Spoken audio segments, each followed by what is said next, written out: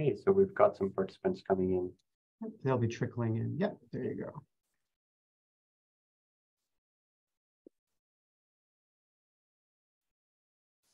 Excellent. I think uh, we're right on time. We should start. That's okay. Um, so welcome everyone uh, for people who've been able to join us today. This is um, um, brachytherapy sessions uh, hosted by ABS uh, titled Everything Everywhere All at Once. So today's session will focus on brachytherapy applications for gastrointestinal malignancies, of course. Uh, the first session, we will cover endoluminal brachytherapy approaches for esophagus, uh, bile duct, and rectal malignancies. Um, this is also a place where I want to remind uh, everyone about registering for the conference that's coming up in June uh, in Vancouver at JW Marriott, June 22nd to 24th in BC, as they call it, beautiful British Columbia. Um, annual meeting will be designed around the theme of delivering the right care for everyone and advancing brachytherapy access for all. So we have some participants, and I guess we can start our talks for today. The first one, um, um, as I, as you can see, I have a um, Dr. Michael Folkert with us today. He's the Associate Professor, Vice Chair, and Chief of Brachytherapy at Northwell Health. Uh, he's trained at MIT for his PhD in radiological sciences, and then he was at MSKC's Memorial Sloan for radiation oncology residency. He's been involved in brachytherapy uh, in general, particularly focused on intraoperative radiation therapy and uh, now currently radiopharmaceutical therapy program. So Dr. Folkert, please take it away. All right, thank you very much. Well, I'm going to be sharing my screen now. Let's see, making sure everything works out for that. So let's see, hopefully everyone is seeing um, a great big screen that says the American Brachytherapy Society on it. Not yet. Not yet? No, let's see. Okay, let's try that again. Yep, we can see that. Well, we can see your computer screen. There we go. Now we can. All right, we'll move everyone over. Okay, and you see just the big screen, right? Just yes. the ABS. Sorry? Yes, we can. Okay, very good. All right. Okay, so uh, so thank you for the introduction. Uh, so I'll be talking about esophageal brachytherapy. Uh, and these are my disclosures. And so, and just as uh, I'll be touching on the background of esophageal brachytherapy, the consensus guidelines and some studies that are available to support uh, and guide us in its use, the technique for esophageal endoluminal brachytherapy, and briefly some future directions. So just as quick background, you know, estimates for esophageal cancer in the United States, uh, United States centric talk, sorry, uh, for 2023, there's going to be 21,560 new diagnoses and 16,120 deaths, and this is up and increasing uh, in the US. The two main histologies are squamous cell carcinoma and adenocarcinoma. In the US, we particularly see adenocarcinoma, but in many other countries, squamous cell carcinoma um, is the key player there. Um, and and uh, at least with the uh, in the United States data, only 19% have localized disease at diagnosis, and uh, 20, 21% five-year survival. So concurrent chemoradiation therapy is part of the standard management of locally advanced esophageal cancer, and it's a form of de definitive non-surgical therapy, as well as neoadjuvant therapy prior to surgery. Uh, but local failure rates remain high, and repeat resection may not be medically feasible. And so such endoluminal high-dose rate brachytherapy has been implemented in inoperable patients in an salvage setting. Now, what uh, endoluminal brachytherapy looks like, these are some of the applicators, the generally available applicators that are out there. On the left, you see the Elekta applicators, which are 18, oops, so 18 to 45 French uh, which is uh, uh, 6 to 15 millimeters in diameter. On the right, you see more of the Varian applicators, which are 6 to 14, 6 to 14 millimeters in diameter and 12 millimeter steps. And these are similar to dilators that are used uh, in esophageal applications and really helps to center the transfer tube that we use to deliver radiation therapy, allowing high dose delivery with rapid dose fall off with distance. Um, and so this approach really allows for delivery of very high doses of radiation to the tumor with lower doses to normal thoracic structures. This is especially useful in cases of prior thoracic radiation and to limit the dose to the spinal cord and the heart. Um, but it has long been controversial to use it because of widely varying reports of efficacy and toxicity um, especially um, because of some of the high toxicity reports, toxicity rates that were reported in some major studies and noted in the ABS consensus guidelines. But this should change. I mean, there is a lot of uh, information that's coming out which shows how we can use esophageal brachytherapy much more safely. Um, it's commonly used nowadays for um, definitive treatment in, uh, uh, in low, low stage disease and medically inoperable patients, and the adjuvant treatment for improved local control and palliation of dysphagia. But really, the main one is palliation of dysphagia. The other ones are more arising uh, uses of it. So just to touch, uh, so uh, ABS put out consensus guidelines back in 1997, uh, and they provided some good brachytherapy candidate suggestions. So unifocal squamous or adenocarcinoma, thoracic esophageal tumors, tumors less than or equal to 10 centimeters in length. They have to be confined to the esophageal wall, no extra esophageal extension, and no lymph node involvement. Um, there's worse outcomes uh, using brachytherapy when there's extraesophageal resection, if they're longer than 10 centimeters, there's lymphadenopathy, or if there's involvement of the GEJ, where you start seeing the walls of the, of the organ spreading away from the central lumen.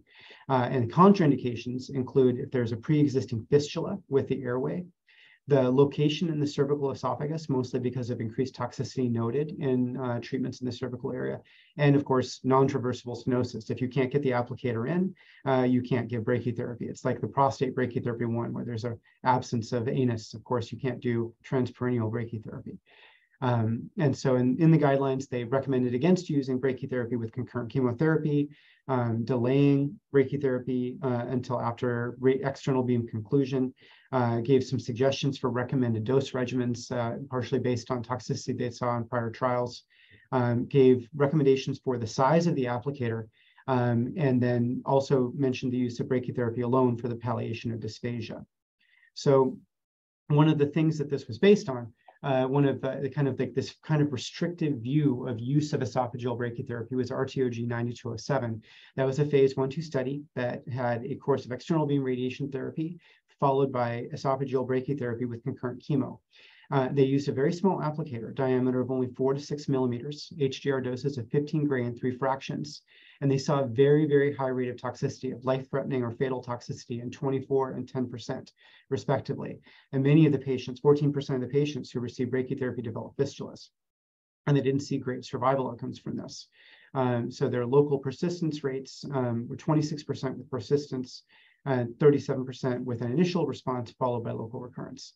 And so because of these not great outcomes, and this is one of the reasons why um, people were, were steered a bit away from brachytherapy. But there's the devil's in the details with the dose. So an example, so um, at Sloan Kettering, it was observed that patients who received high dose single fraction radiosurgery uh, for spine lesions, the probability of these high grade esophageal complications was less than 5% for doses less than 14 gray, but it rose rapidly above 15 gray. So there seems to, there's an inflection point with very high, with when you give high dose where you start seeing increased rates of significant toxicity. And one of the things that we looked at, uh, we had examined um, that the doses, the mucosal doses that were delivered in many of these prior studies, including 9207, and simulated the dose to mucosa for a range of applicator diameters and treated depths. And so assuming a treated length of five centimeters and a prescription dose of five gray, similar to what you would expect to have seen in 9207, um, you know, that we uh, kind of looked at what doses would come out from these. And so, you know, for example, if you were treated at 9207, and so they used an applicator that's only four to six millimeters in diameter, your doses, your central dose uh, at that prescription would be up to 32 gray per fraction. And so well, well along that inflection point where you see a massive increase in toxicity um, of grade three or higher toxicity in esophagus that we saw on SBRT studies. The ABS recommendations of six to 10 start to cool it off, but even on the low ends, you're still seeing 19 gray or even 13 gray at the central dose. Um, and then this, if you're prescribing to the surface, you know, it could still be even higher. And so with 2623. So you know, so these are all doses that we're pushing out onto the high end of that curve and would predispose towards high grade toxicity. So this is uh, so so if you use these smaller applicators, and so which are more convenient and more easy to place, um, you uh, the the trade off, however, is though you're giving incredibly high mucosal toxic mucosal doses, which can result in significant toxicity.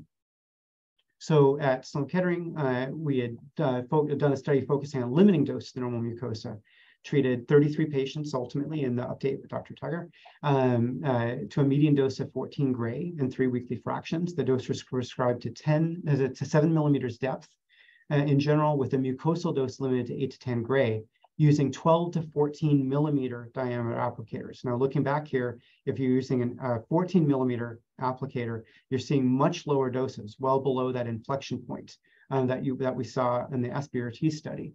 Um, and in this case, 73% received concurrent capecitabine. Um, there was also five who were, treated with a novel applicator that's no longer available, but um, but uh, a good range of patients treated on this study. There was a complete response in 58.6% of patients on endoscopy. Median time to failure was 10.3 uh, months.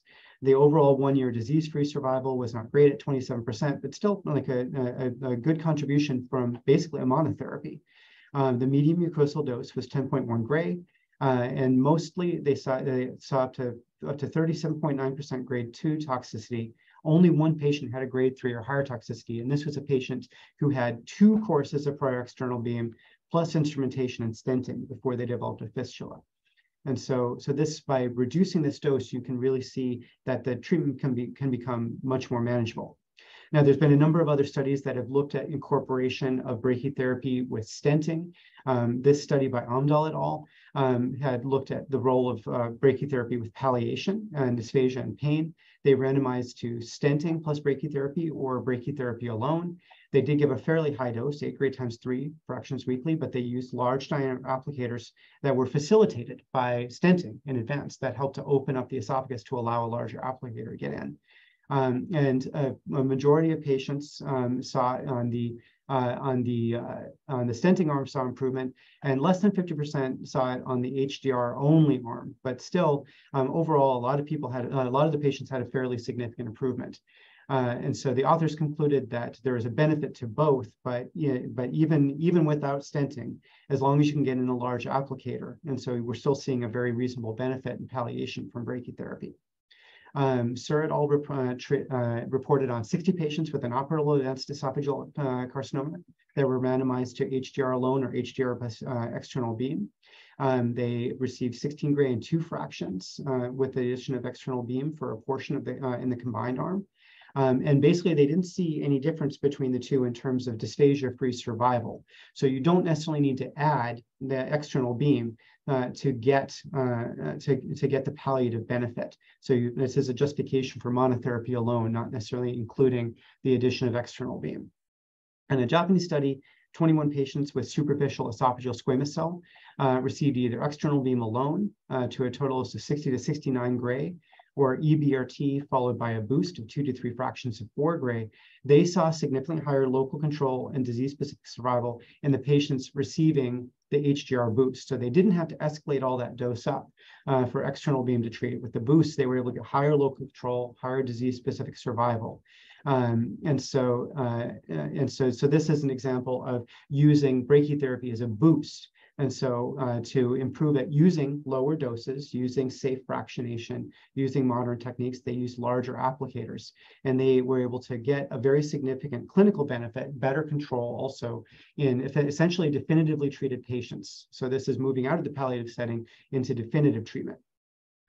And so in general, just to kind of a toxicity overview. So there's two types of toxicities that we look out for with the brachytherapy. There's procedural complications.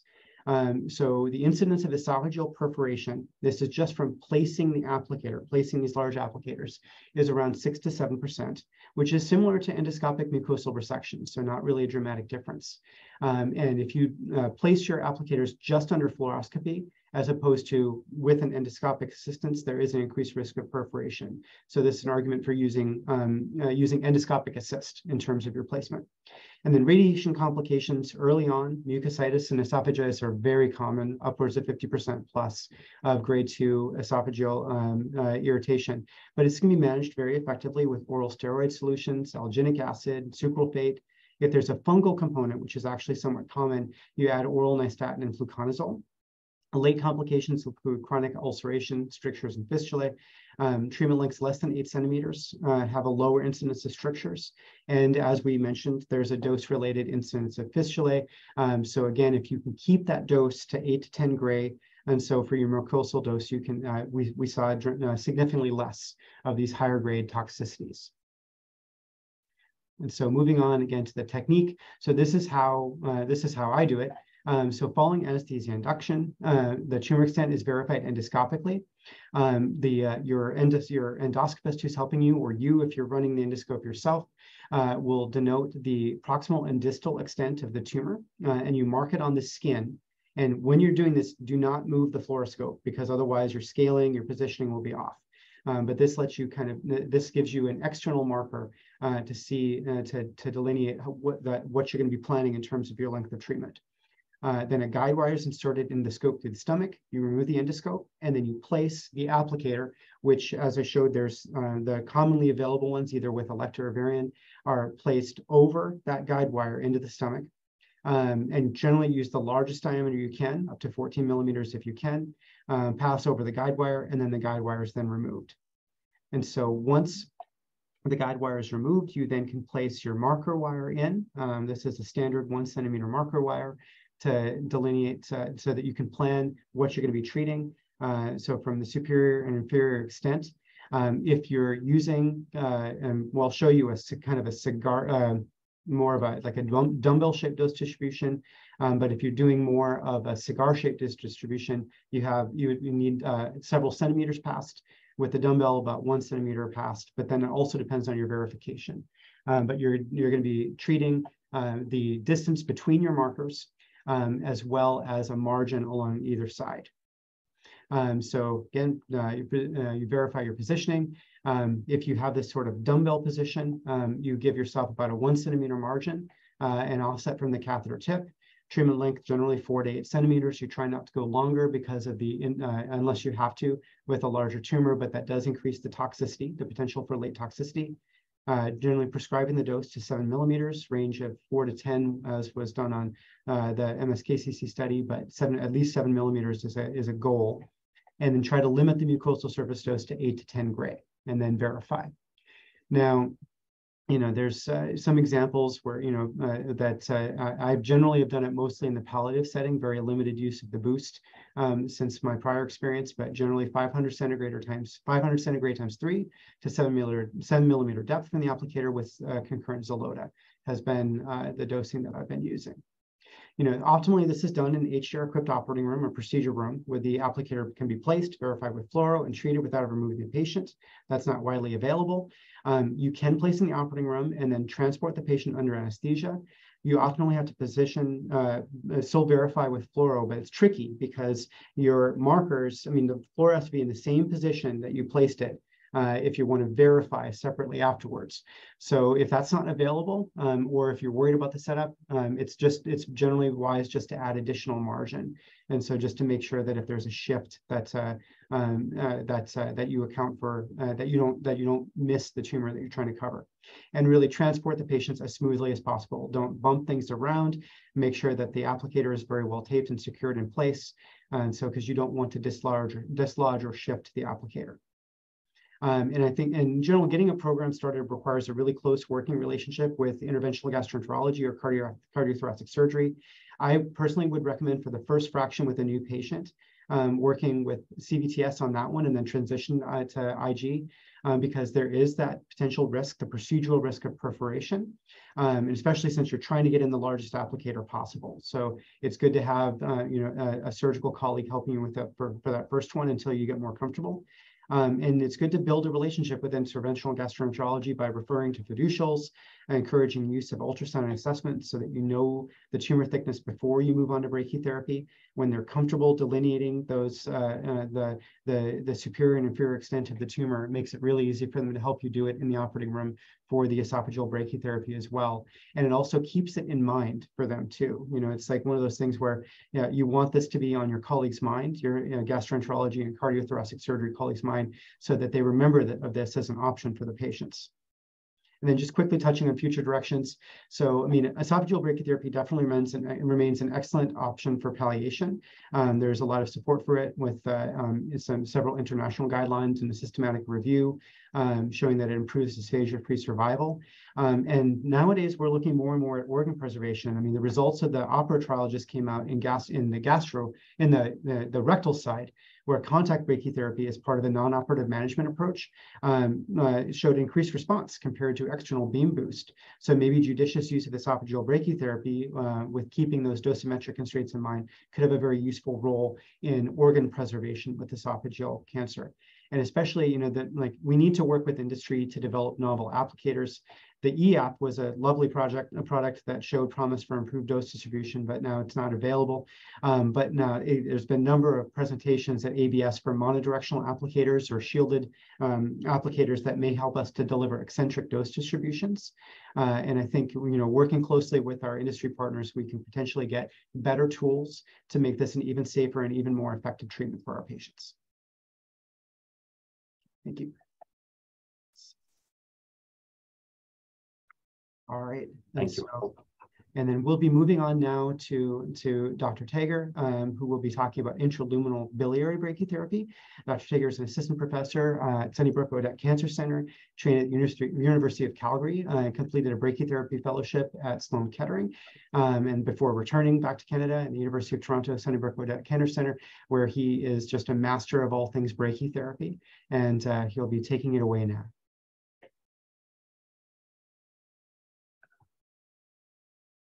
Are you able to see my screen? We see your notes slide right now, the, or the, um, the, the presenter view. And how about now?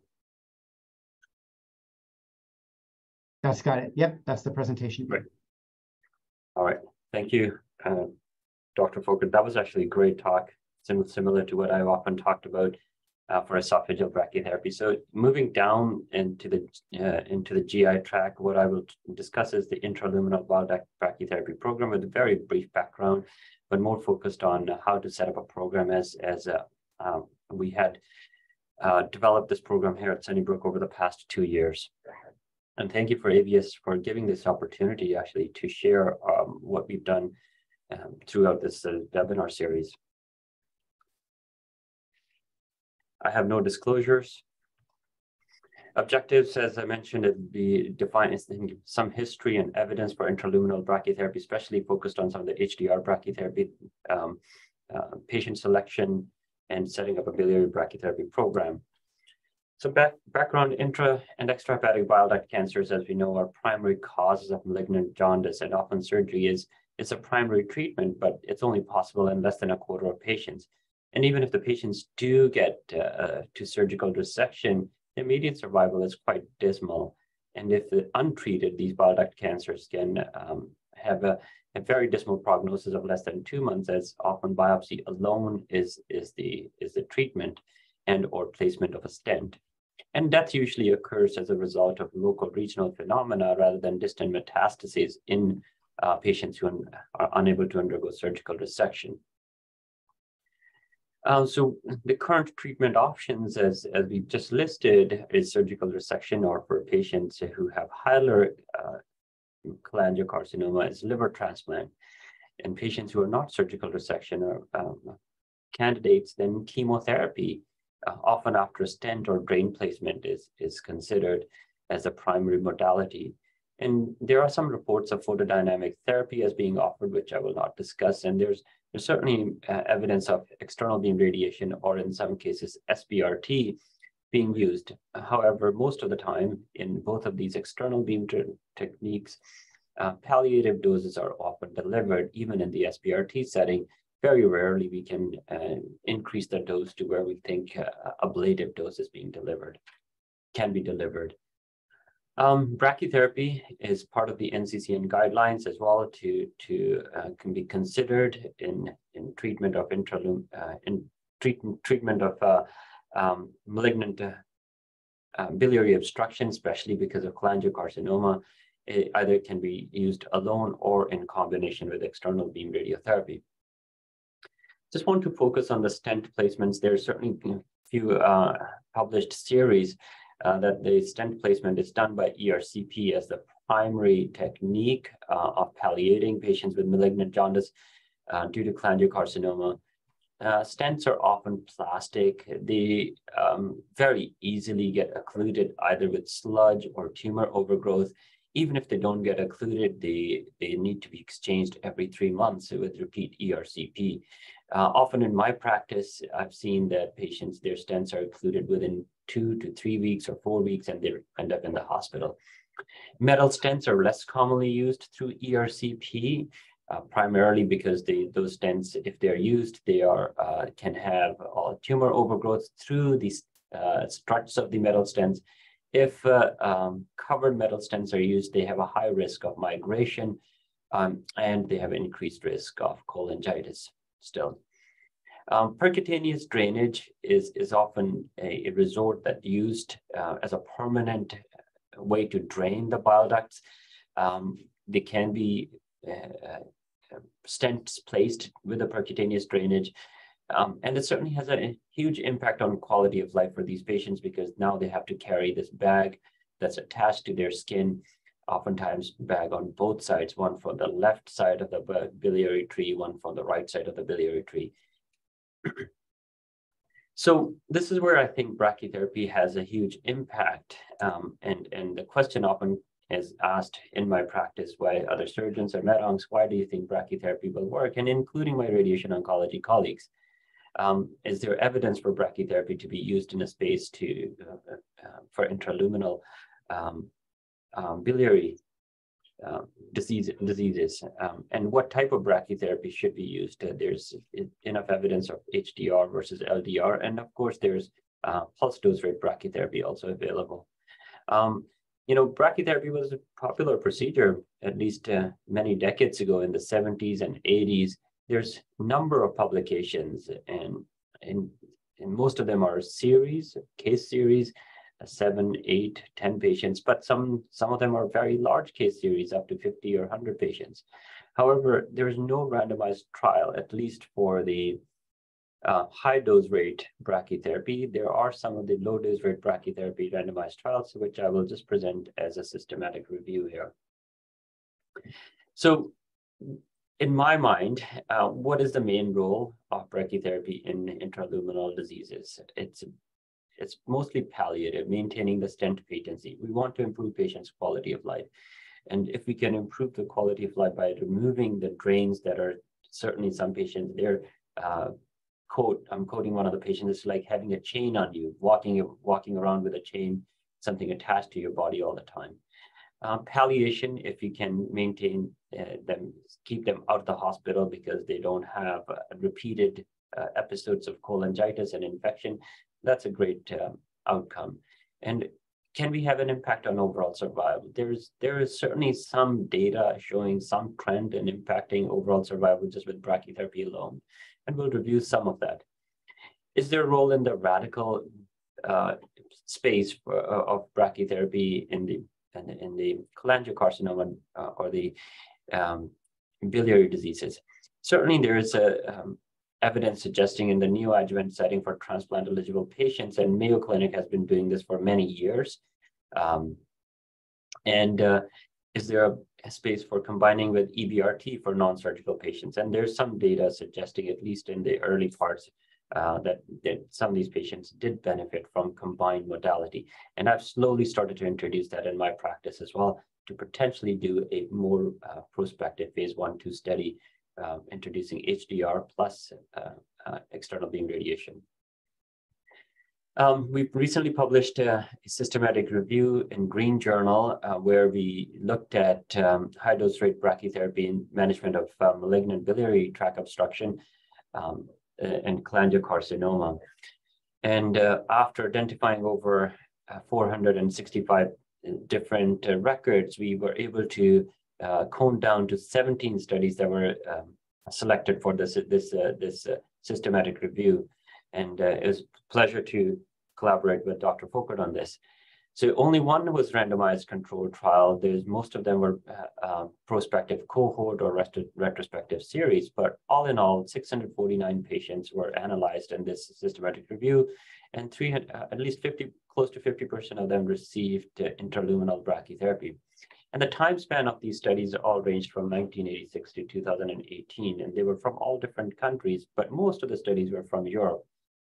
Um, to cut down or distill down to the main points, the median stent patency of patients who were included in all of the intraluminal brachy, all in all of the these papers was 9.9 months. However, when we looked at the patients who received brachytherapy alone, uh, the stent patency was uh, 10.1 months. And if uh, patients received combination of brachytherapy and external beam, there was slightly higher stent patency.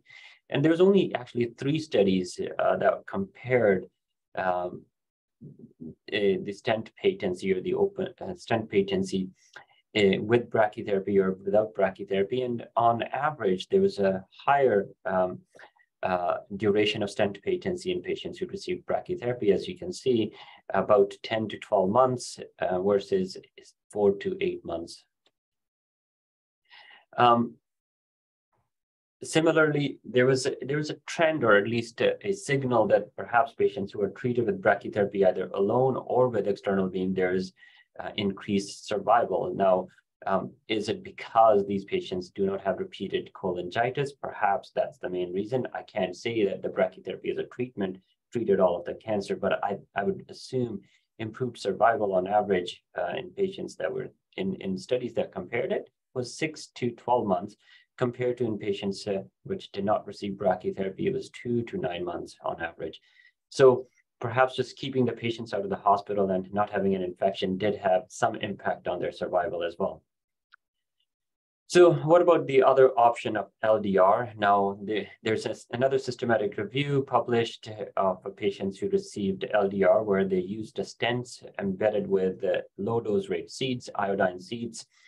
Um, and uh, in this uh, systematic review, they, uh, they assessed 12 different studies for mostly quantitative analysis.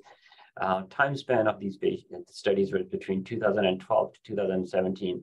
I have to say this with a caveat that all these studies are from a single country, um, um, as the as the LDR seed implants uh, with the stents are only used in China so far. They did although find that there's a certain improvement in stent occlusion in, in with with this stents that were uh, um, um, coated with uh, iodine 125 seeds and uh, odds ratio of stent occlusion with or without seeds was 0.19%, which is favored with brachytherapy group. There was also slight improvement in median survival in patients uh, who had uh, received um, low dose rates brachytherapy stents compared to the ones that were control group with no seeds. Complication rates were similar in, in both of the um, both of the groups. And just briefly touch on the Mayo regimen. These are the patients who are ortho in the in the curative or radical setting. These are the patients who have uh, undergoing orthotopic liver transplant, uh, hilar cholangiocarcinoma with malignant stricture. They often get preoperative chemoradiotherapy, 45 gray and 30 fractions, given twice daily uh, with concurrent 5FU. And intraluminal brachytherapy is done either with LDR, which is 20 gray, or with HDR 16 gray and four fractions.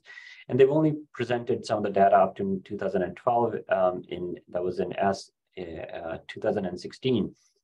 Uh, 215 patients have been enrolled and 150 had undergone uh, liver transplant uh, with this approach. So um, I'm still waiting for their finalized data. Um, and I believe they should be publishing soon. I do know that some of the centers who are unable to offer brachytherapy with their Mayo regimen, they actually do SBRT now, which is um, um, which is becoming a little bit more um, accepted way to do it. However, I've been approached by some of the uh, the, the, physicians across uh, here in Ontario that if we are starting to do brachytherapy, can we adopt this Mayo regimen for patients who are transplant eligible and waiting for a transplant. So we're hoping to move in that direction at some point. So summary, of all of the data that I presented, certainly there's demonstrated benefit in, in providing palliation. Maybe there's some mild improvement in overall survival. Uh, we're still studying that as part of neoadjuvant regimen for transplant patients. But I think what is the future? So we need to combine perhaps with chemotherapy. Um, we need to get radiation done um, when the percutaneous implant, uh, percutaneous intervention is completed, because we can finish brachytherapy within four to five days or seven days uh, while the patient is still recovering from percutaneous um, uh, intervention. And then a patient can go on to get chemotherapy within two to three weeks after finishing the brachytherapy. So patient selection, now there isn't any data like ABS guidelines or ASTRO guidelines, which patients would benefit from this. So um, I've oh, uh, during our systematic review and when we set up our program, I came up with this approach that hilar and mid to distal CBD tumors, either primary, primary or metastatic, would be eligible.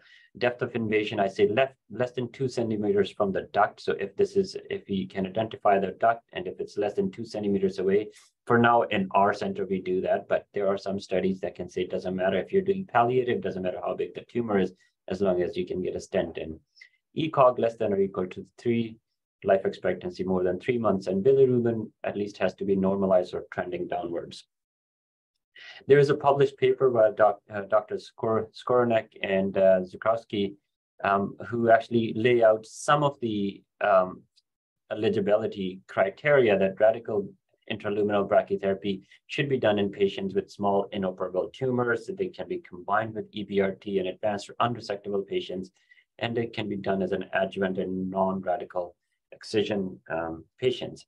And palliative is to improve biliary flow irrespective of the tumor size. Unlike our selection criteria, they've recommended that any tumor size can be uh, treated with intraluminal brachytherapy because the primary goal is to provide some sort of local regional control and improve quality of life. So I will take about five minutes to go over setting up the program for brachytherapy so that if somebody's listening can also ask questions later. Yeah. As Dr. Folkert discussed, a multidisciplinary approach is a must for setting up a program like this. Um, I work very closely with our interventional radiology. We have to have our medical physics team um, actively involved in developing the program. Various aspects of radiation therapy. We want to move towards a 3D brachytherapy. I know Dr. Folkert showed the 2D brachytherapy for esophagus, but ideally we want to move towards 3D. So we are actually I proposed everyone to set up a CT and MRI simulated uh, brachytherapy. And of course, nursing support. These patients are very sick. Oftentimes, you need nurses to support throughout their journey of uh, treatment. And this is the way the way we've set it up as an outpatient treatment with a percutaneous drain. So various steps um, that that I often do is, is in step one, the IR department does the placement of the metal stent, internal external drain, um, step two, generally about 48 hours later, um, patients often may be admitted during this time. Um, placement of a sheath or blind end treatment lumen catheter that allows as a, that acts as a conduit for your for your uh, treatment catheter. And then the patients are transferred to the RT department prior to their discharge if they're admitted, or if they're discharged already, they come as an outpatient, where we do a CT and MRI simulation on the same day and at that time, we actually placed the lumen, uh, our treatment lumen catheters um, at the simulation. And uh, we also obtained some baseline plane radiographs. We marked the catheters, and I'll show you exactly where we mark uh, at the skin and also note the catheter length inside the patient. Patient goes home, all the contouring and planning is done offline at your leisure. You can take one day or two day. Um, and the patient then comes in just like we do for vault brachytherapies or other um, outpatient, it's about half an hour every day for five or three to five fractions as much as you need. There's multiple verification steps, and I'll just go show some pictures. Um, and treatment delivery, on the last day of the treatment delivery, we remove all the catheters, sheath, and patient goes home without any, any attachments. And this has been working really well for us so far. Um, so I'll just show you the example. Patient one, I said we identified the patient first uh, after MCC discussion. This is a patient uh, coronal and axial view, um, portal vein. Here's a, a bile duct. We identify that there's a tumor in this bile duct. Tumor is extending to the left um, bile duct. Uh, so it's stage three, uh, not a surgical candidate because of other comorbidities and metastatic prostate cancer, so deemed a good candidate for brachytherapy. Um, as I said, in the IR procedure, I often used to go to the IR procedure for the first few times so that all of us become comfortable. Um, you introduce, you act, find an access to the biliary tree, you do cholangiogram, you identify where the stricture is. Um, and after the stricture is traversed with um, a guide wire, we introduce um, a sheath, a stent and a sheath. So obviously this is a picture on the second where the stent is deployed. Here's the top end of the stent. Here's the bottom end of the stent. If you can see, uh, once the stent is deployed, all of the uh, contrast agent is starting to go through now. Uh, once the stent is placed, we all place a vascular sheath, this outer diameter of about five to seven French, usually it's about seven French vascular sheath that acts as a conduit for our um, lumen catheter. These are the radiopaque uh, treatment markers shown by Dr. Folkert as well for esophageal brachytherapy. These are placed at one centimeter um, distance. Um, we also do plain radiographs, and this is one of the plain radiographs to just illustrate that uh, um, uh, reproducibility of this technique. At the time of the simulation, the patients, um, our, our team uh, certainly mark where the sheets are. This is a case where we did two catheters instead of one. We mark exactly, these lumen catheters have little uh, markers, also one centimeter markers. We mark exactly where the uh, it's exiting the sheath. We also mark, identify the length of, uh, of the sheet that's outside the patient. And of course, you need to label all the channels and our CT sim staff goes through all the checklist.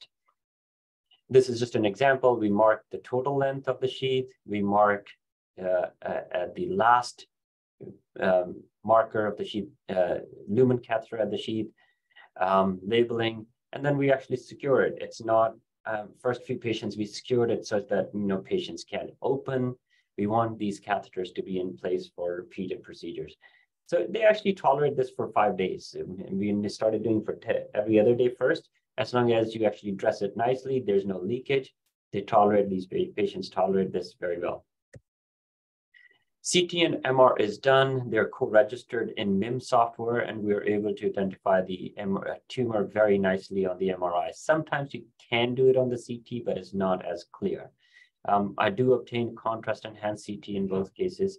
Um, I add about one millimeter around uh, radial um, um, to the CTV. From red is the GTV and the, this turquoise is the CTV and five to seven or maybe one centimeter in the direction of the stent in the longitudinal.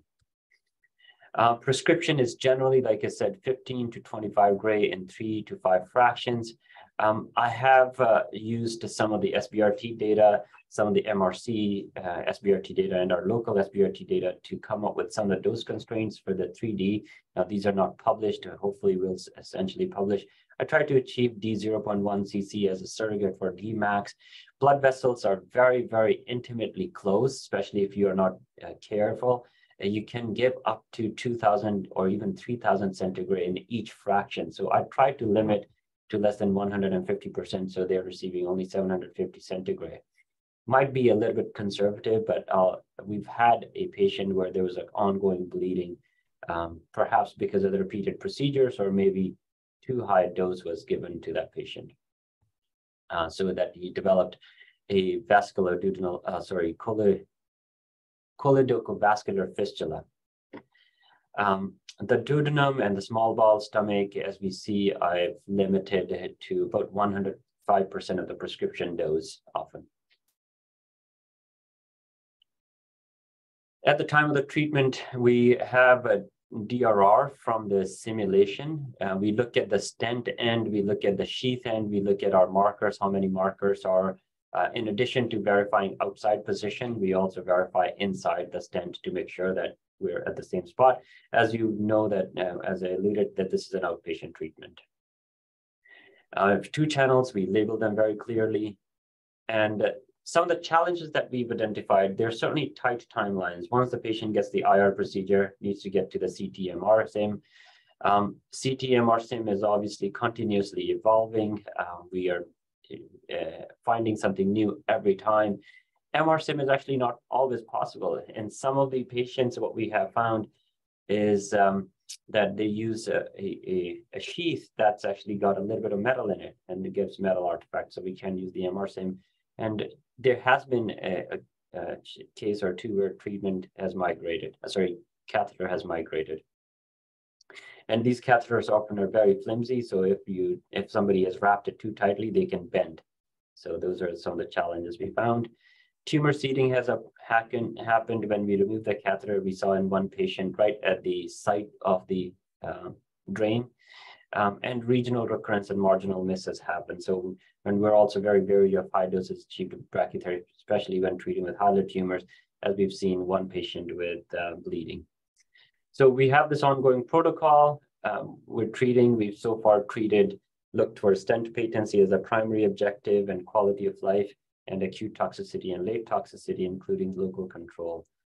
Uh, we've treated 20, uh, it's a prospective study. We've treated uh, 20 patients so far, um, but we've analyzed uh, 10 of them uh, early on with follow-up of 210 days. Uh, stent patency has been, the median is 166 days. Uh, they've all improved in terms of their bilirubin, their quality of life has been slightly better at three to six months after. Um, acute toxicity, there's no GI toxicity in any of these patients. Grade one pain has been the most uh, common acute toxicity in one patient. There is some stenosis in two patients. There's some hemobilia, as I mentioned, probably because of the repeated interventions due to the stenosis or maybe because of the high dose of radiation to the vessels. Uh, there's one patient with grade one choledochal fistula, but she, he had received SBRT 35 gray and 5 fractions and 18 gray and 3 fractions within six months. Um, so I want to acknowledge all of our interventional radiology, inpatient team, brachytherapy team, simulation staff, and nursing staff. And um, I know I'm over about five minutes, but we'll take some time, questions later. Thank you.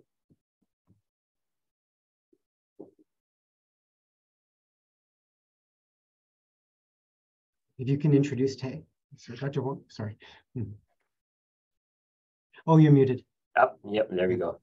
So from here, I will I wanted to introduce my colleague from Canada, Dr. Te Vuong. Um, she is a professor of radiation oncology at McGill University, and she's a senior investigator at the Lady Davis Institute of for Medical Research. Uh, she's received her MD at the University of Montreal and trained at the University of Toronto um, and the Institute Gustave Roussy um, and uh, Institute Curie in Paris in France. She's internationally recognized, and I look up to her um, for treatment and research in rectal cancer, especially brachytherapy.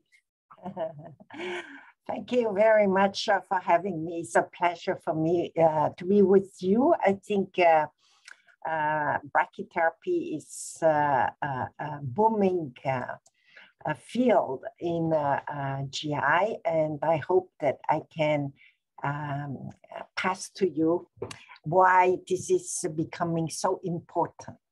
So I hope the sharing is happening. I don't know if you're seeing it. We see it. They're not in presentation mode yet, but they're up.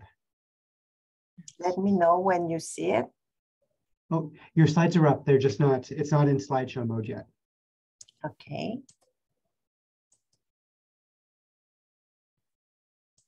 If you hit the presentation mode, maybe at the very bottom. To start the slideshow.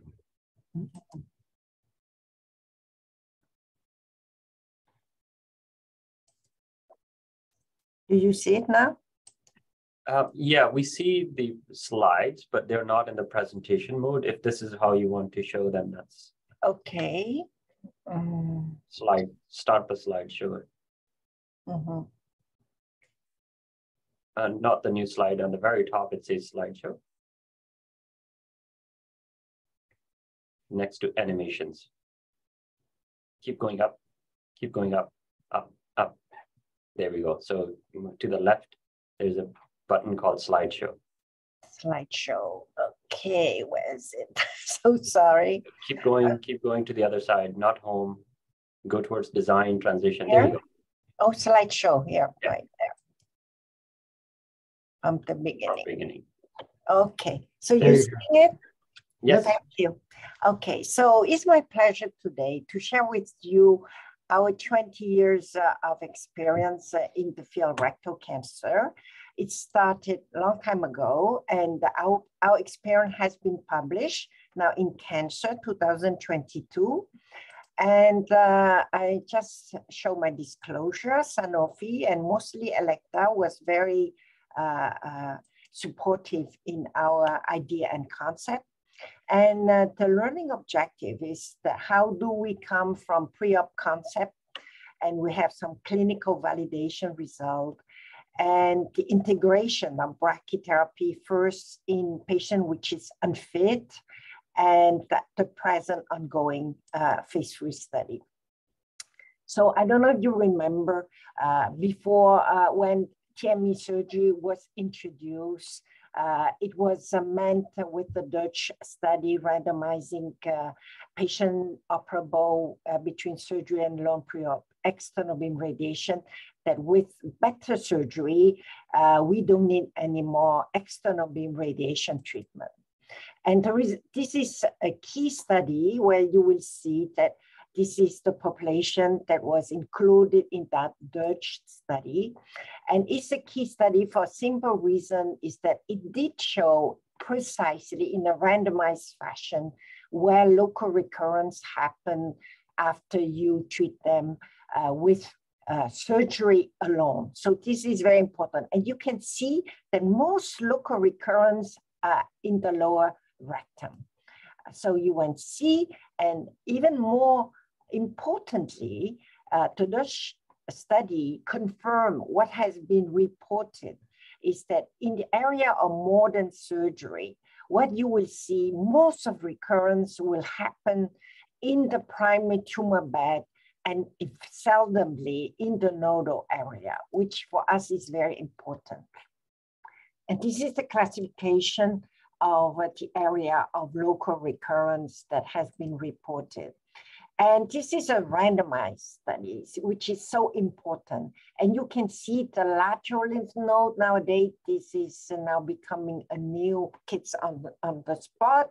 You can see that if you do chest external beam alone, the incidence is 1.9. So 2% of your patient will have nodal recurrence. And if you do external beam, it will be 1.1%. So if your colleagues say to you that brachytherapy doesn't uh, help patient with rectal cancer, uh, they're wrong because the difference between 1.1 and 1.9 is 0.8%. So it's very minor difference when you do just treating the primary tumor bed only. And you can see that nowadays this is very well accepted that when you do external beam radiation, you're improving the local recurrence from 12 to 12 uh, from 12 percent to six percent, but you did not have any impact on the distant metastasis so far.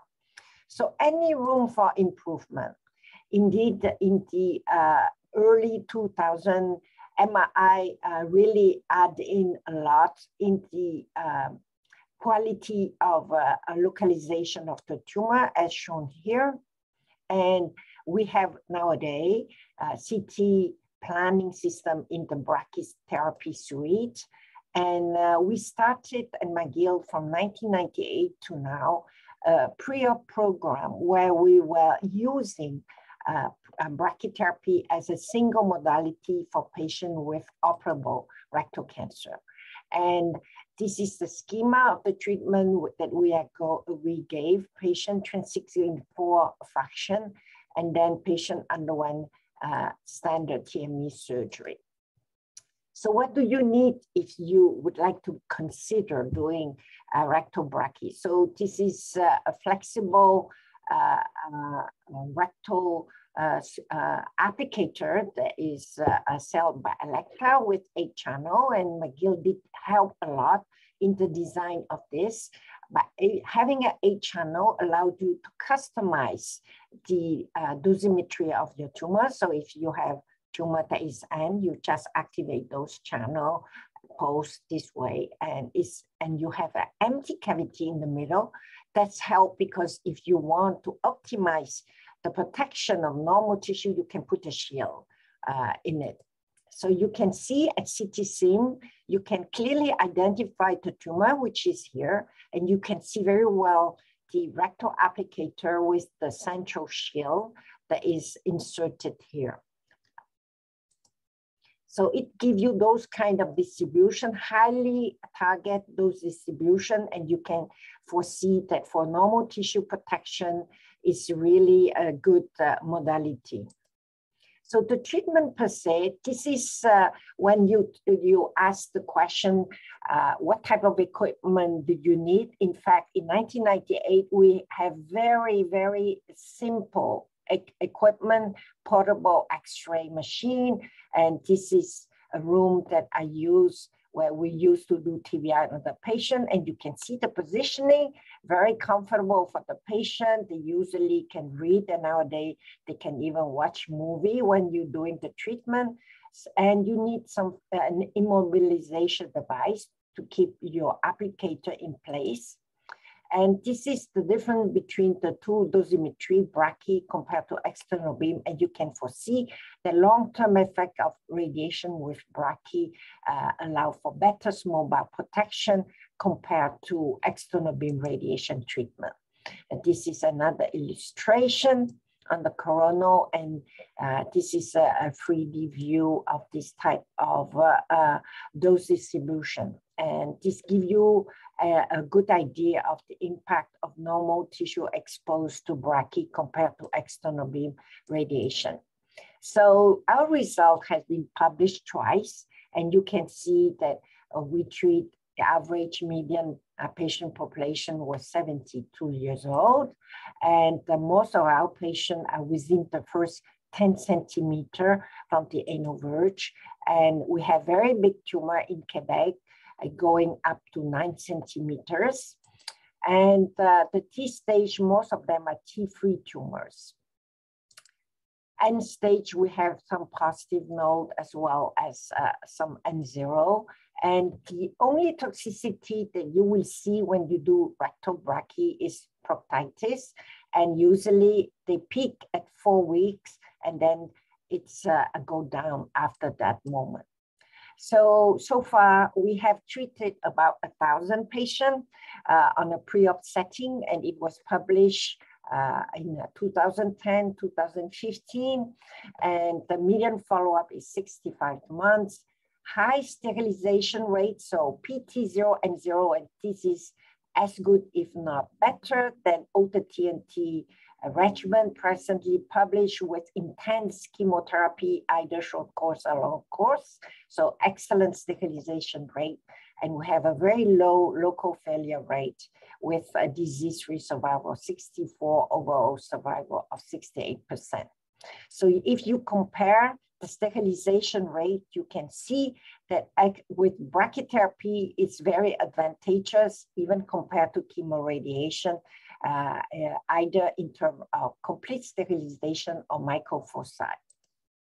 So the treatment-related toxicity is proctitis, as I mentioned to you, and uh, we have four patients with long-term bowel toxicity. It's unclear if this is related to the brachy or simply small bowel obstruction uh, from uh, scarring um, tissue after surgery, and none of our patients has pelvic fracture.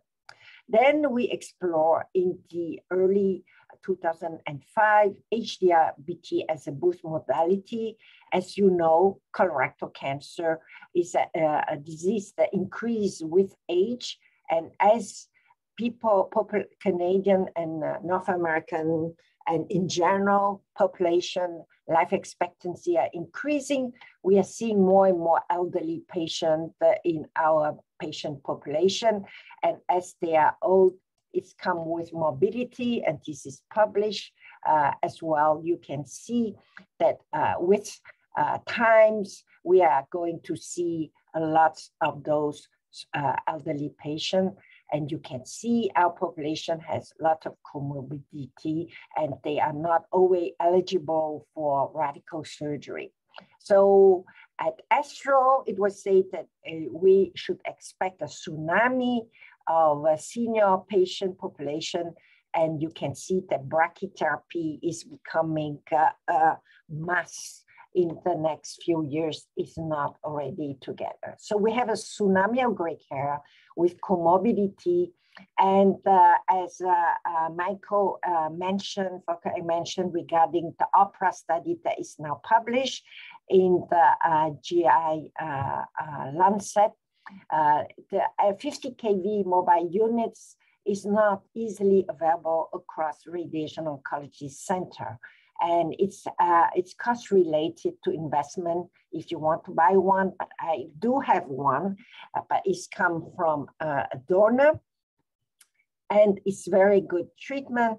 And you can realize that uh, the financial burden of cost related to cancer treatment is becoming a major issue.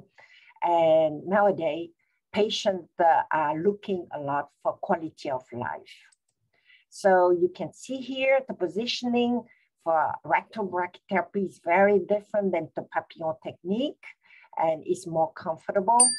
And you can see here that we have published our first experience when we use uh, rectal brachytherapy uh, as a boost for elderly non-operable patient. This is the treatment schema that we use. So you, not, you need to start with external beam to cover the nodal area at risk. And two to six weeks after completion of your external beam, we use initially, we repeat MRI and wait using the time factor until the tumor thickness become less than one cm. Uh, and uh, but I will show you that nowadays we are using other uh, device to improve this dose distribution. And then we give free fraction of rectal brachytherapy on a weekly base. So we treated in this population 180 patients with a median age of 81. And this is a type of tumor that we see at endoscopy. And you can see that after external beam radiation, the tumor will shrink. And it's really why you need to add in uh, brachytherapy because you can dose escalate it um, with within a small tumor. So the key of cure with rectal brachytherapy is the boost tumor volume. So for you, if you have such a small uh, uh, uh, small uh, boost volume, you really need to have uh, uh, to get used to do your own rectoscopy for the simple reason is that you need eye-guided assistance. And I don't have an MRI sim in my, in my center, but I think that even of the diagnostic MRI, it's very difficult to see when you try to identify uh, the tumor volume after external beam radiation. And we use these radio opaque markers as shown here. You can have your GI colleagues to do it, or you can do it yourself because it's very simple. And the treatment tool, as I mentioned to you, is this uh, commercially available uh, rectal applicator from Elekta. You need a central shield and you need to use uh, a balloon. And I can show you uh, the type of uh, uh, applicator, the shield that you need for this. And we really are buying it, it's commercially available and you have to insert it uh, in the middle of the uh, rectal applicator when you want to use it. And for the rectal balloon, you can see here, this is a very cheap balloon that I, I like to say, I like to steal it from my uh, uh, prostate colleagues who do their ultrasound. It's very cheap and is commercially available and you have to insert it on the rectal applicator before you uh, apply to the patient. And this is what it shows. You can see here that we use two balloon. And the reason why we use two balloon is that if you use uh, on the ipsilateral side of the tumor, uh, you use a small balloon, which allowed you to flatten the thickness of the tumor.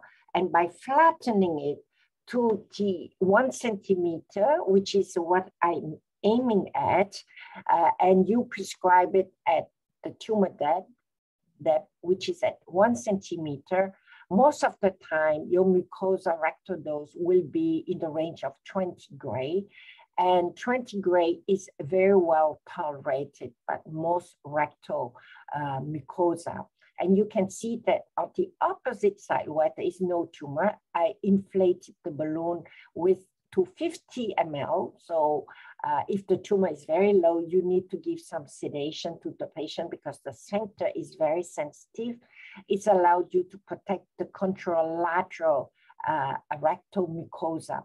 So by doing it, and then you can see here, this is uh, uh an anterior uh, tumor, and I put the shield in the middle, and you can see that dose is within the balloon, so you are protecting the contralateral rectal wall. So it's quite easy. So the result uh, shown here is very good. You can see that up to 70% of our patients has a long-term control of their tumors after this uh, HDR boost. And it's allowed Ane Appelt to uh, um, show here the dose response curve when you're doing uh, rectal preservation for adenocarcinoma. And you can see here how uh, Angelita Habr-Gama and Rodrigo Perez, who are the world leader of uh, non-operative management of rectal cancer, the Polish group, uh, you have the Danish group, and our group here, and uh, Jean-Pierre Gérard with the 50 kV. So you can see that you can achieve cure more than 70% of the case if you do rectal brachytherapy, which is extremely significant and is almost equivalent to your anal canal uh, patient population. So what are we doing presently? It was uh, about uh, eight years ago that we started uh, negotiating with Jean-Pierre Gérard, doing a phase three study where we use brachytherapy as a boost. But because of the few uh, uh, experience uh, in the world of patients with HDR rectal brachytherapy, we have decided to split the study in two. So one became the OPERA study, which is now complete. And in Canada, we're doing the Morpheus study where we are comparing uh, patient after uh, with T2, T3, less than 10 centimeter from the anal verge. We start with standard chemoradiation and then patients are randomized to a boost of external beam, nine grain five fraction, Angelita Habr-Gama style, compared to McGill style, which is uh, brachyboost with HDR, 30 grain free fraction. If you have a complete response, you are going to be observed. If you are not, you're going to go for surgery. So this is a sample size that we initially uh, design that we were thinking that with the brachyboost, we will have a 40%. So you see, we were extremely conservative compared to our elderly non-operable patient where we observed more than 70%. So we postulate it will be 40% as we are a multicentric center uh, compared to 20% for external beam boost, Angelita style, and this is our patient population selection. So we were extremely careful in selecting the patient. And an interim analysis was planned and published where we have 40 uh, patients treated with a median follow-up of 14 months. And the CCR rate was 50% in um, A and 90% in um, two, uh, in um, B, which is the brachyboost. So you can see this is extremely uh, impressive result and it was published, presented at ASTRO meeting in Madrid. And this is the patient population that we treat. You can see most of our patients are T3 tumors and 70% uh, from three to five centimeter in size. And uh, you can see who is presently uh, doing our HDR boost, you can see here in France with uh, Eric Rullier from Bordeaux and Véronique Vendrely. We have Poland, we have UK, we have Shuk from Quebec City, Dr. Buchko. We have the Netherlands, Philip Devlin in USA, we have Netherlands, we have Germany joining us and Netherlands. So you can see that this is really something that can be done in your hometown because you have HDR units. And this is a very exciting result for the first 40 patients. You can see that 70% uh, of our patients uh, occur without surgery compared to 40% uh, with external beam boost. And this is published. So I, you can see the survival is excellent in both arms. So our conclusion is that if you do an external uh, brachy HDR boost, you will have a high proportion of patients with complete response. And our interim analysis showed that salvage surgery is not the issue after dose escalation. And we need to confirm by completion of RCT. And if ever you need help or you would like to collaborate, uh, we will welcome you uh, to our institution uh, easily. So HDR uh, BT for rectal is validate and allow for tumor downstaging and downsizing. And the treatment-related toxicity is tolerable and the Morpheus study phase three is ongoing. So that was my talk on rectal brachy. Thank you so much. And so closing out with the last of the presentations, is Dr. Hrycushko. He's an associate professor of medical physics and engineering at UT Southwestern. He completed his medical physics residency there and currently leads a large uh, and very diverse brachytherapy and intraoperative radiation therapy physics program, as well as some cutting edge research into mechanisms and prevention of normal tissue toxicity. Um, and so, so Dr. Vuong, if you can unshare your screen, uh, we'll let Dr. Hrycushko take over. Okay. All right. Yeah, there's like, um, Did I?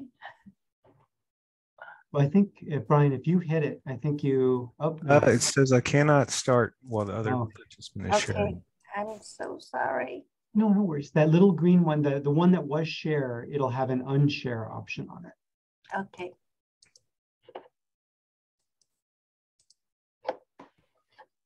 Mm, It'll be in the Zoom dashboard portion.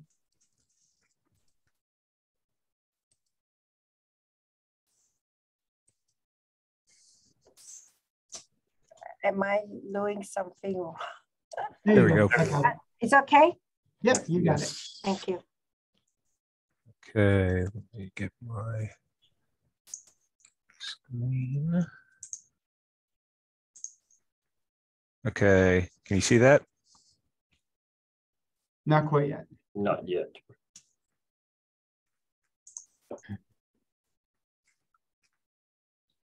Let's see, still nothing? Mhm. All It right. usually pops up a bunch of options for either your display or a screen. There you go. Yeah. Yep, that got it. Yep. Okay.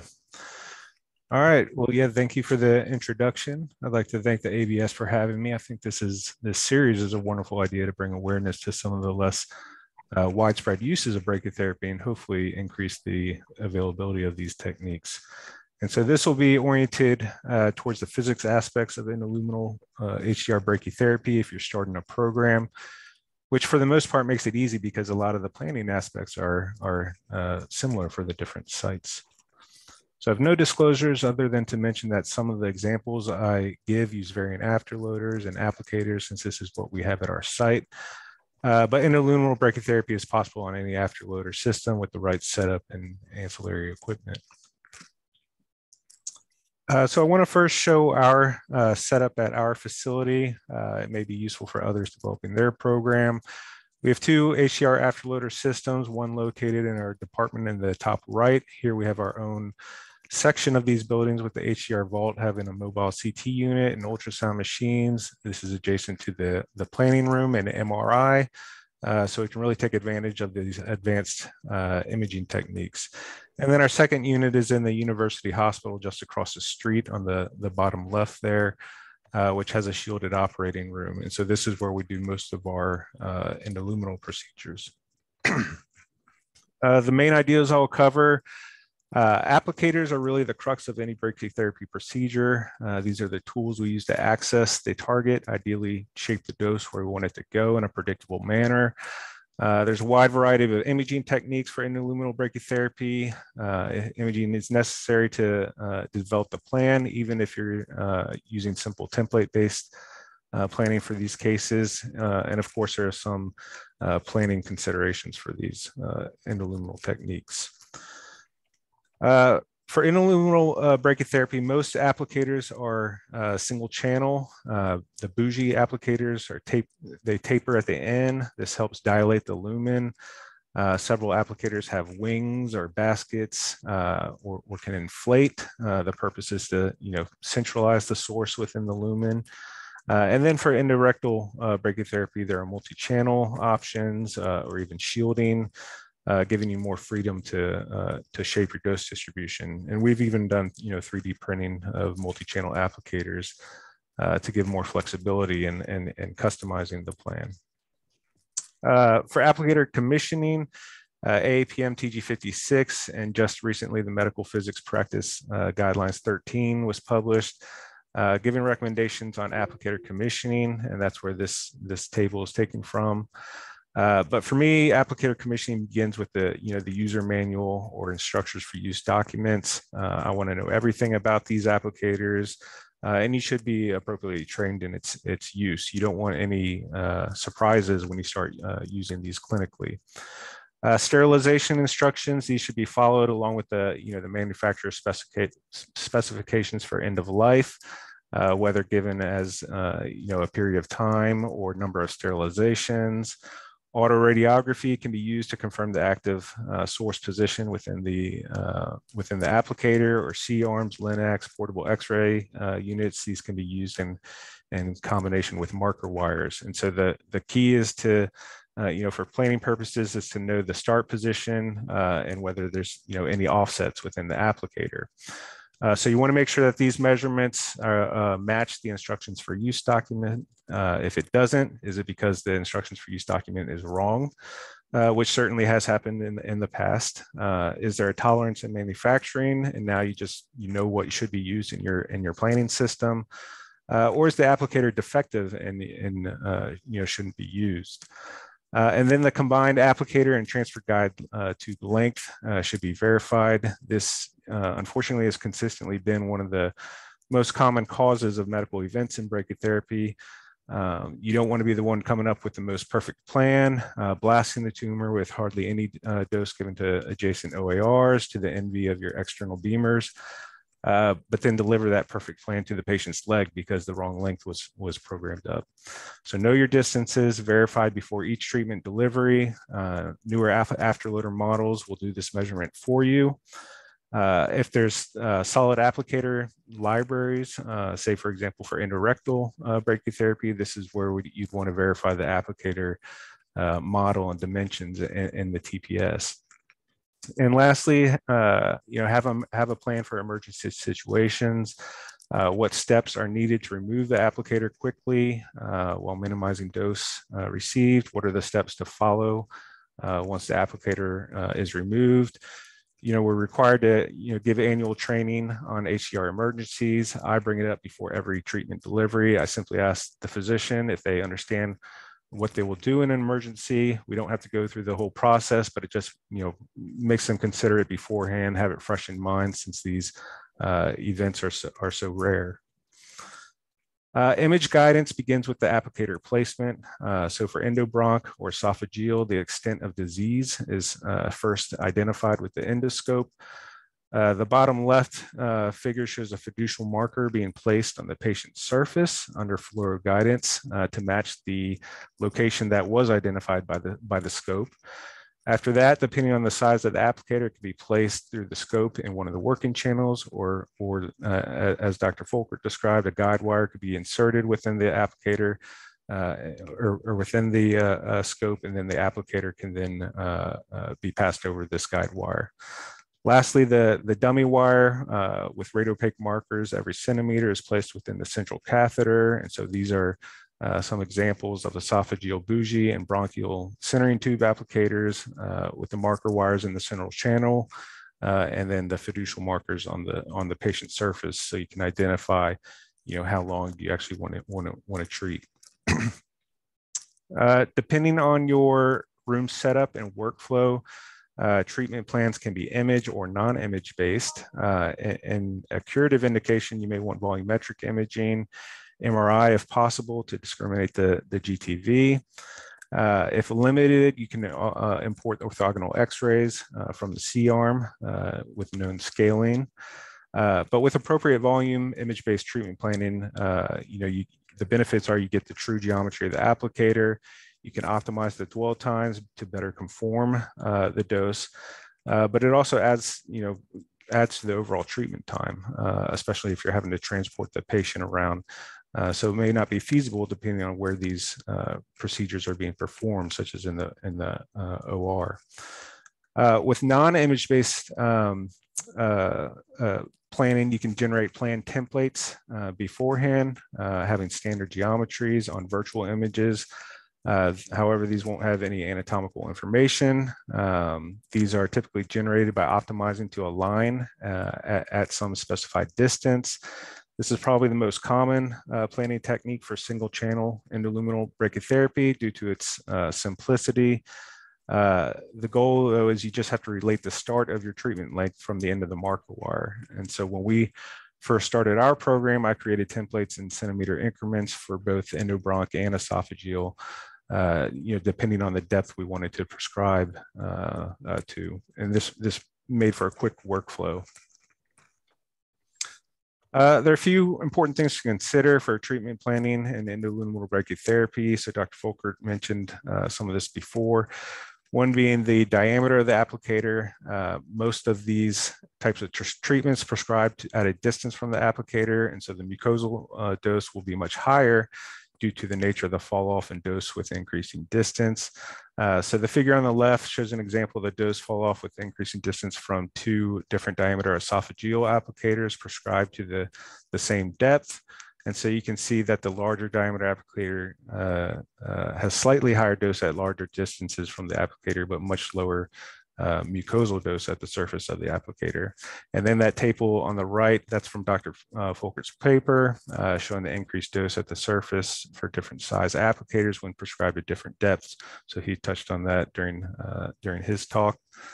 Um, Another thing uh, he touched on, uh, you know, when you optimize uh, for uniform dose at a distance, you get more dwell time at the end uh, sources, which can uh, create hotspots at the mucosal surface. So this is when he was talking about the, uh, uh, you know, the dumbbell shape versus the, the cigar shape.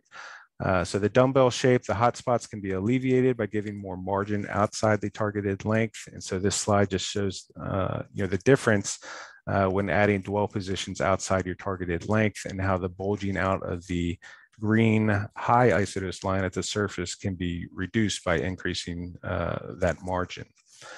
And then uh, another point I want to make is that if you're, you're if you're making uh, template-based plans, uh, if at the time of the treatment the physician wants to prescribe to a different dose level, uh, you can simply scale the dwell times uh, of your plan. But if they want to prescribe to a different depth, uh, then you're not going to get the same uniformity if you scale the dwell time. So you may need to to re-optimize in, in these cases.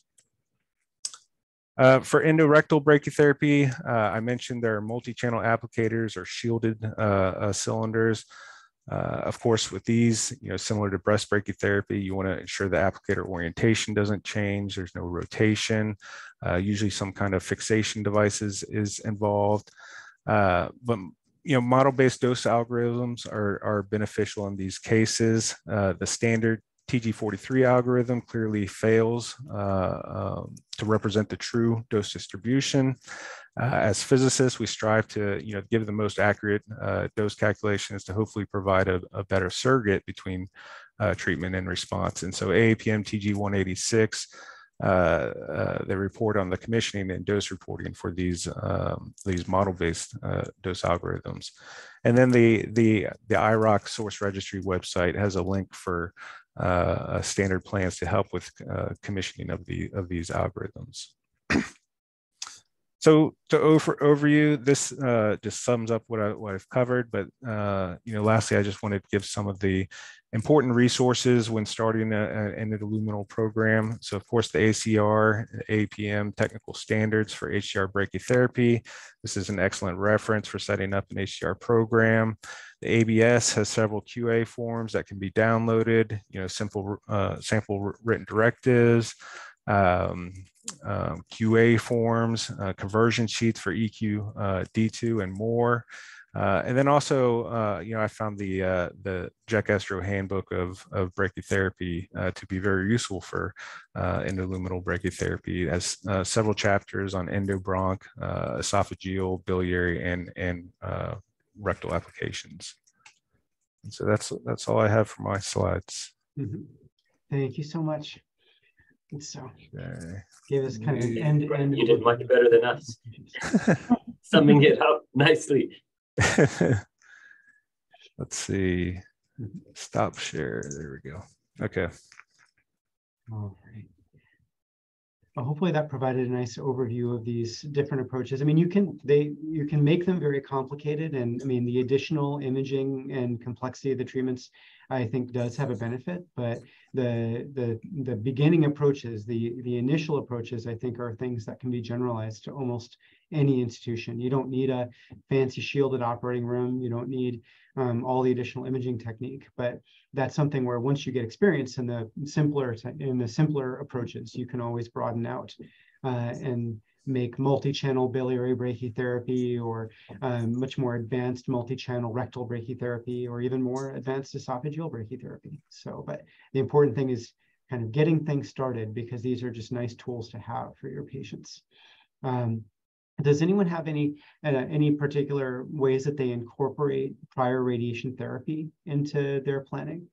And so, I mean, I know for for ones where it's intended, you know, for combination therapy, rectal and uh, external beam, then it's more of a standard approach. But um, for the palliative uh, treatments, uh, do you consider um, prior radiation therapy in either your rectal or your biliary plants? Mm -hmm. I do see uh, as a, a uh, referral center uh, many patients who has previous radiation for prostate or gynecological cancer and they have a large rectal uh, tumor.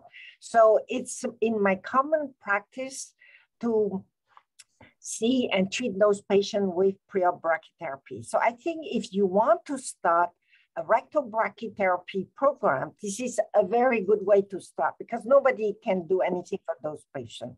Mm. And the surgeon really need you to downsize and downsize the tumor. So you can, as the tumor is going to be resected because you just radiating the rectum, you don't have any uh, fear of having any complication at all. So that will be my suggestion. Mm -hmm. Yeah, so I mean, I think uh, that's an excellent question, and I think in in some of the other settings, uh, such as hepatobiliary, where the patient may have received some external beam radiation in the past, or or in the esophagus setting, and I've gotten a few patients where they've had head and neck cancer, and now they've got an upper cervical esophagus, uh, yeah. upper thoracic esophagus malignancy. Um, you know, tough tough uh, sort of scenarios, I I still go back and rely on some of our basic EQD2 models to try to uh, try to assess the dose uh, given to the mucosa and the surrounding OARs. But they obviously break down because sometimes these dosages, these previous radiations are a few months or sometimes a few years ago. Um, so we rely a lot upon on clinical judgment and somewhat on EQD2 modeling to have a better assessment of the dose. Mm -hmm. Yeah, I modified the uh, EQD2 table for gynecologic brachytherapy for um, for esophageal for here yeah. to give us a little bit of a safety, at least at least a way of documenting and making sure that we're monitoring it. Yeah, that's exactly what I've done is modified our our gyne gynecological EQD2 models. Mm -hmm we need to do a workshop on this at ABS. And so yeah. hands-on all the different approaches. And so yeah, that'll be something that would be fun. I so, think so. It's a good yeah. idea. So just just I think uh, I wanted to touch uh, like also like for similar to what you were saying about the the setting up the program and and for patients who have uh, for programs like such as us, I don't have any skills in doing the endoscopy myself, and we don't even have thoracic surgeons doing the endoscopy in our institution. So for me to set up a esophageal program was very complex, but we're trying to do it on outpatient based. We actually started doing NG2 based brachytherapy, similar to what we do for our biliary brachytherapy. Is just that thoracic surgeon in a different hospital will place an NG tube under um, uh, endoscopic guidance, and then they send the patient to us where we do all the same measurements and placing the placing the um, uh, the lumen catheters at the time of the CT sim. So you know you can still set up some of these programs without um, having all the scopes and everything bells and whistles in your own OR operating room. Mm -hmm. Yeah, that's what we've been having to do here. I don't have a shielded operating room, so we've been uh, trying to set up everything in the clinic. So it's mm. yeah, it's very doable. And so it's just just more moving parts. That's all. So just can't be afraid of the moving parts. Yeah. Um, what do you think? I mean, how do you how do you uh, kind of manage your time for these procedures? Like, how do you uh, like how do you coordinate with the uh, how do you how do you coordinate to get these procedures done? And so with uh, with balancing off your clinic. Yeah, so there's there's a, certainly a challenge I think in my practice. Um, just sometimes the clinic time co uh, coincides with the interventional radiology procedure mm -hmm. time. Um, so you know, obviously having a backup physician with you who can also do these procedures is beneficial because um, you can, that that's one of the things that that is most challenging as a, as a brachytherapist and the physicians who are interested in doing brachytherapy and and bringing this pr procedure to some of our patients. Not everybody thinks like us, to be honest. um, so that's my most challenging issue here is to finding a backup to do these procedures so that I can be at two places at once. But otherwise, it's it's very challenging. Yeah. Yeah, you never want to be the only brachytherapist at an institution. spread the wealth and so a little bit. Let's see. Well, we've actually so we do have dedicated days as well. Like for example, I try to put I have a gynae OR day mm -hmm. on Thursday, so I try to put put all my brachy times on the gynae OR days. Yep. Yeah, if you can compartmentalize it, that is that can be a huge uh, a huge godsend in, uh, in terms of your time. Um, so I think so we've gone a little bit over, but that's okay. And so um, we didn't have any uh, any questions uh, in on the QA. So that hopefully that means that we addressed everything with our talks. These will be available, of course, on the ABS uh, website to view later on for all the membership. And so, so that'll be helpful there. Any other closing thoughts anybody has? Any anything else that anybody wanted to add?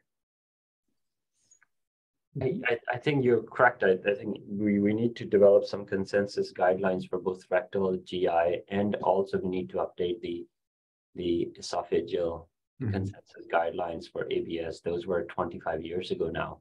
Mm -hmm. Yeah, there's so much new data. And so there's so many more trials, more experience. And so there's a lot that we can build on. It's true. Mm -hmm.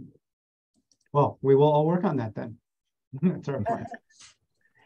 All right. Well, thank you all for joining us, and thank you to all of the uh, to the viewers who joined as well.